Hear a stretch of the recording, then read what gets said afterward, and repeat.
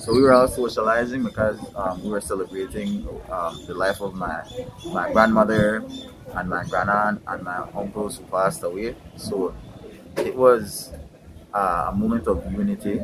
So we would have never expected that something like this would have happened. So we were just socializing, you know, in the yard. I'd say at, at 12, a little after 12. Um, we were all talking around the table, and to my understanding, I heard I heard some gunshots.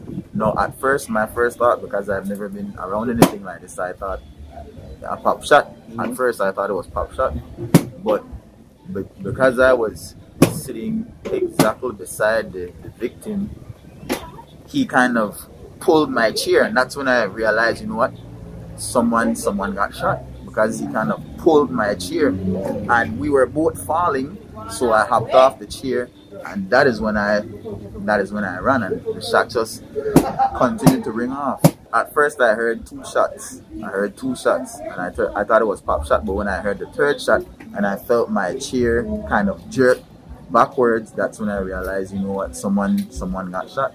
I wasn't even looking in the direction of where the gunman was uh, because I thought it came from behind me. So when I heard the when I heard the second shot and my chair jerked, I hopped off my chair and heard the third one, and that's when I ran towards the house.